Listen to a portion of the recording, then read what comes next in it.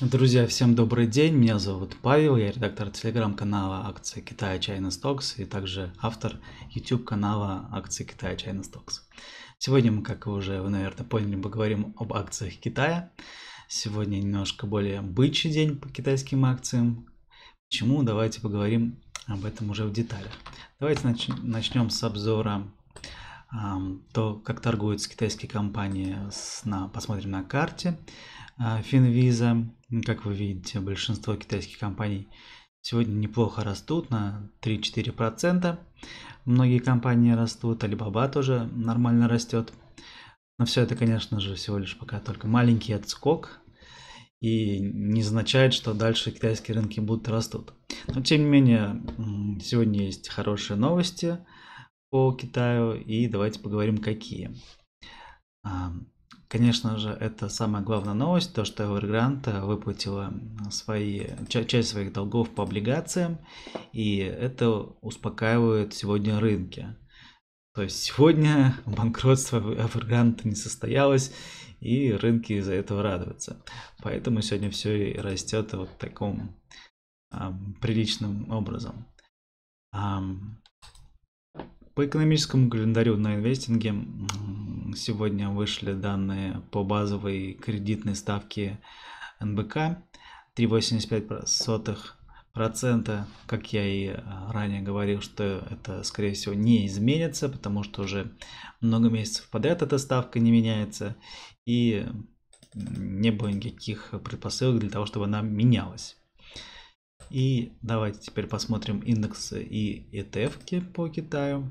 Сегодня Гонконг не работает, поэтому такие индексы, как Seng и Seng Tech сегодня не торгуются, но мы можем посмотреть, как э, работает, как торгуется индекс Шанхай Композит.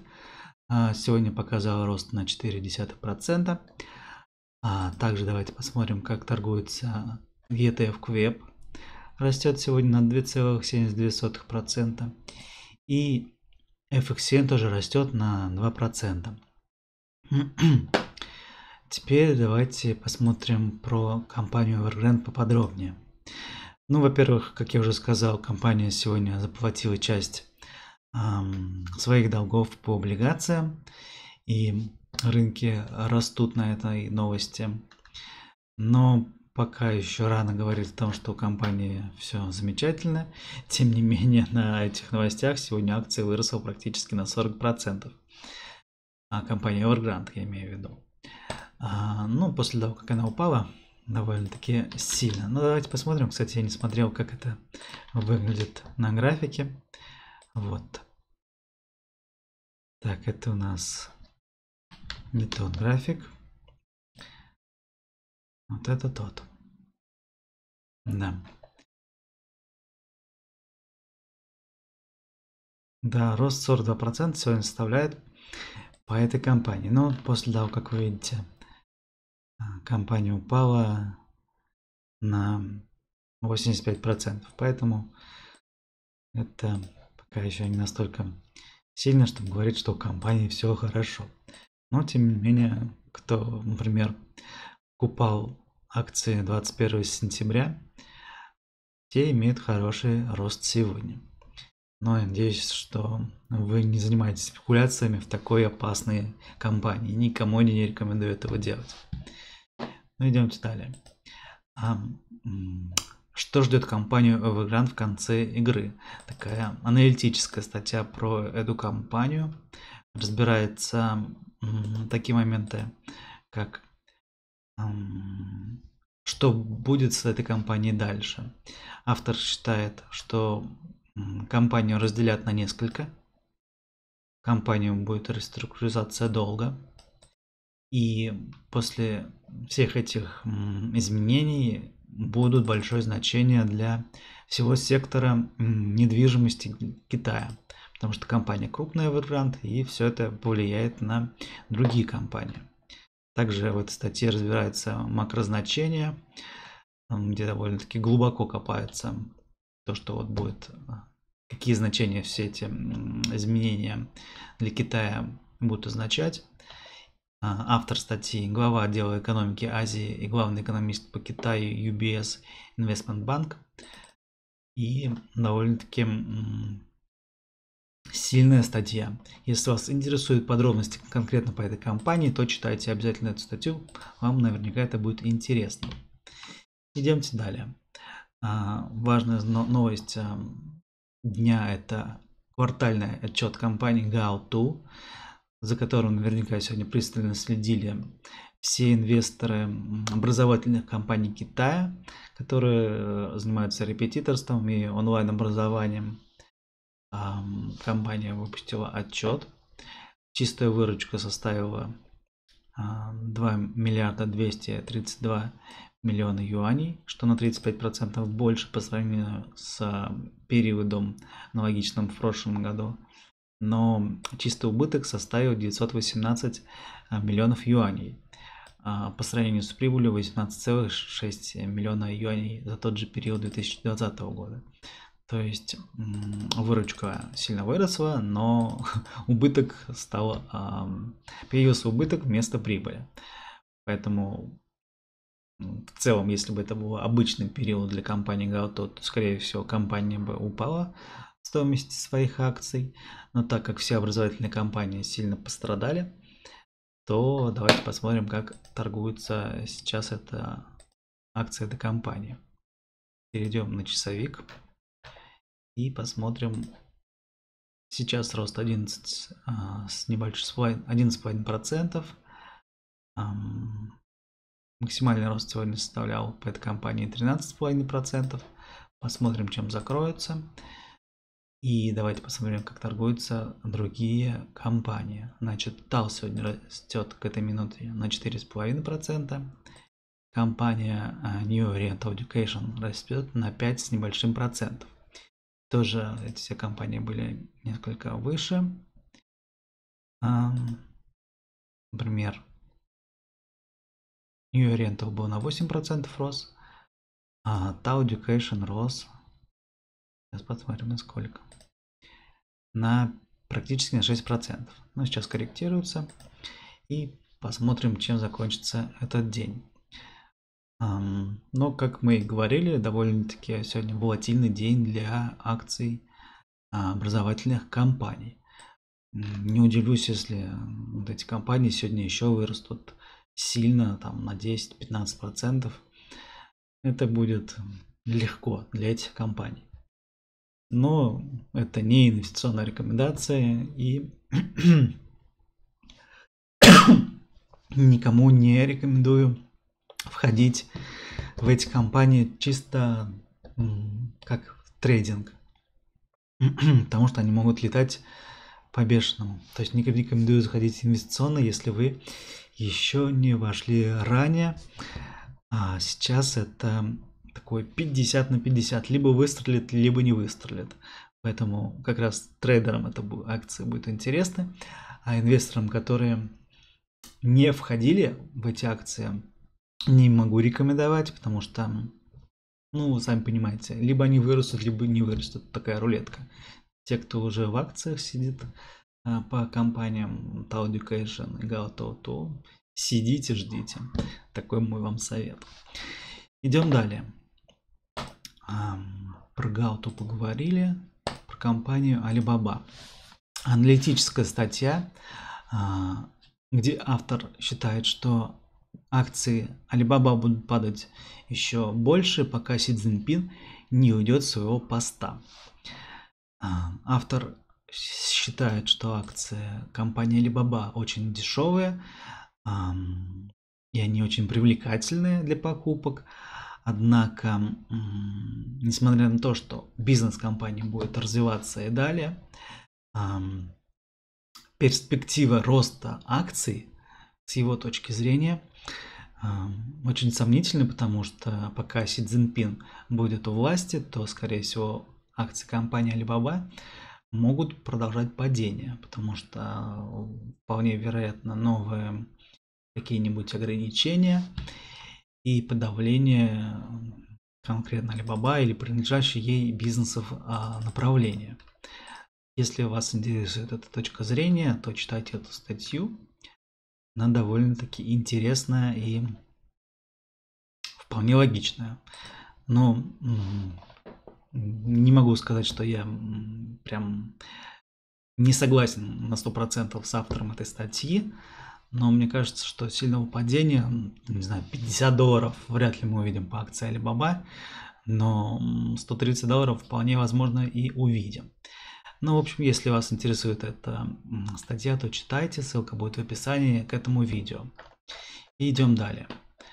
Еще одна новость тоже связана с компанией Alibaba. Микрокредитный сервис Ant а, Huawei передает обширные данные о потребителях в Центральный банк Китая. А, это был один из моментов, когда приостановили IPO компанию Ungroup, а, когда потребовали, чтобы компания поделилась своими данными с Центральным банком. И непосредственно сейчас это происходит. И, на мой взгляд, это не очень плохая новость, потому что это всего лишь развитие ситуации, которая может привести к IPO компанию Ungroup. А если вы следите давно, то и непосредственно остановка IPO Ungroup была такой точкой начала репрессий по всем китайским компаниям и секторам от властей Китая. И если, если, а когда, когда IPO Ungroup все-таки разрешат, на мой взгляд, это может быть той самой точкой, когда эм, китайские компании начнут свой рост. Все ждем, надеемся.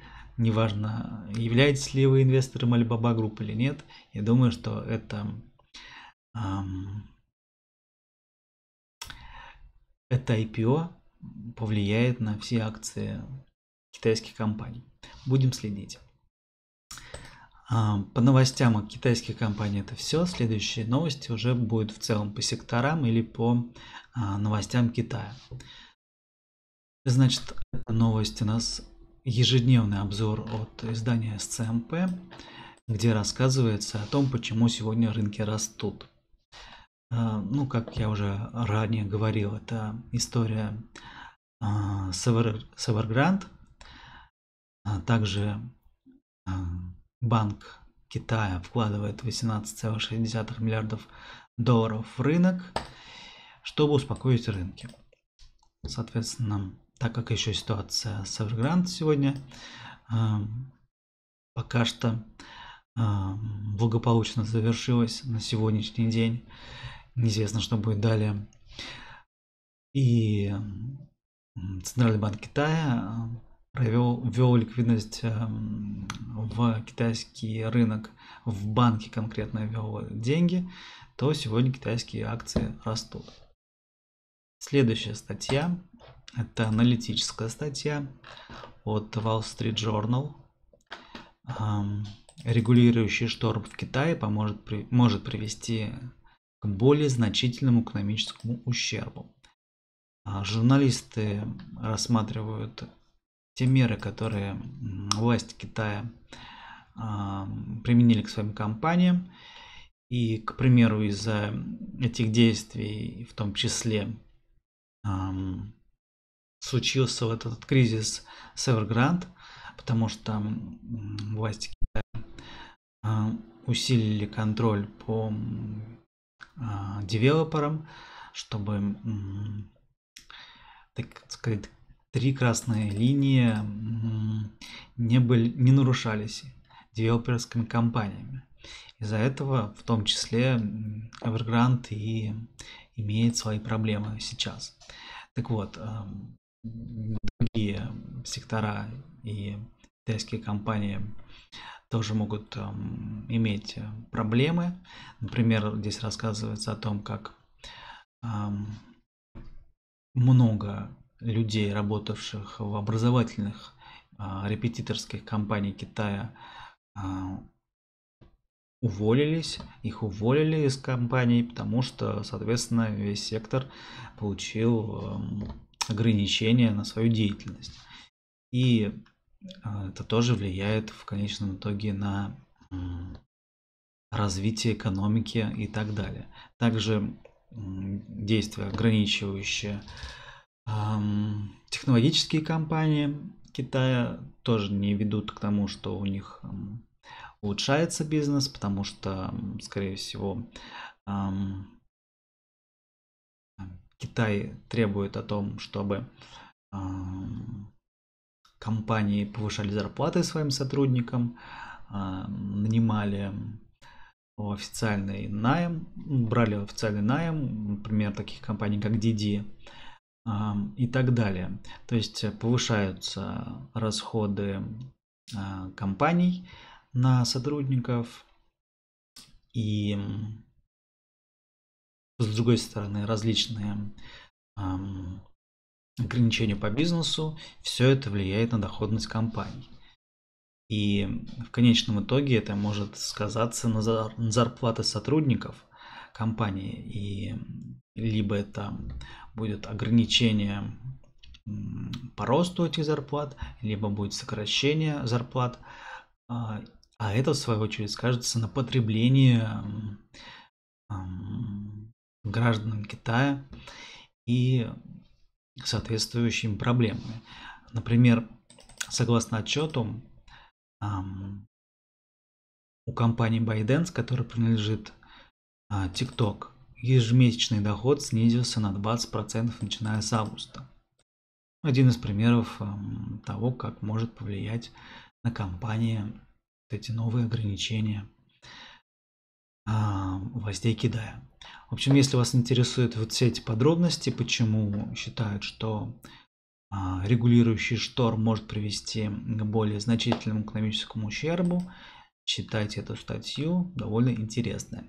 Ссылка будет в описании к этому видео. И последняя статья, которую я сегодня хотел рассказать, это новость. А, расходы на услуги облачной инфраструктуры в Китае во втором квартале 2021 года выросли на 54% это тоже продолжается вот эта вот статистика. Вчера, если вы смотрели видео, то я рассказывал о том, что сектор онлайн игр показывает рост месяц к месяцу. А, и по сравнению с прошлым годом в этот же месяц рост, расходы на инфраструктуру обычных компаний, соответственно, тоже растут. Соответственно, получается, что компании а, в этом секторе такие как Alibaba, Huawei, а, Tencent и Baidu. Это четверка самых крупных а, компаний в этом секторе, соответственно, получают больше доход с этого направления бизнеса. Так вот, игровые сектора, доходы растут, обычные услуги, доходы растут. И много таких э, новостей выходит по Китаю, которым говорят, что на самом-то деле все растет. И думаю, что в конечном итоге это приведет к тому, что китайские акции будут просто эм, слишком, слишком дешевыми. И это может заставить покупать китайские акции, несмотря на все проблемы, которые есть по Китаю сейчас. А на сегодня это все, что я хотел рассказать. Если вам нравится а, контент, о котором я рассказываю, ставьте лайки. Если вам кажется, что я не прав, что контент неинтересный и так далее, ставьте дизлайки. И подписывайтесь на этот канал, если вы еще не подписались. Также приходите к нам в телеграм-канал, там появляется самая актуальная э, информация по Китаю. И на этом все. Всем спасибо за просмотр и всем до завтра.